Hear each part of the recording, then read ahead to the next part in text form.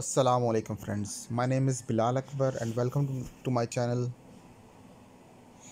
Today I'm going to show you that how can you update your Huawei Y9 Prime 2019 to EMUI 10 or Android 10.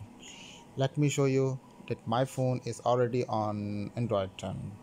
Yes, let's go to settings and then about menu and then you can see my Android version that is Android 10 so if you try to update it from simply going to system updates and software update you might not get the update.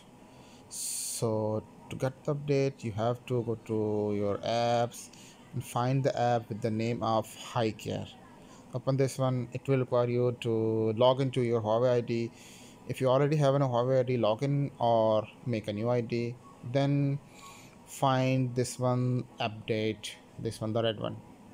Yes click this one and yes you will find an update of about 3.36 GB that is EMUI 10 or Android 10 and that's for Pakistan.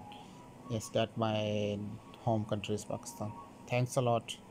You are now on Android 10 or EMUI 10 thank you very much. Have a nice day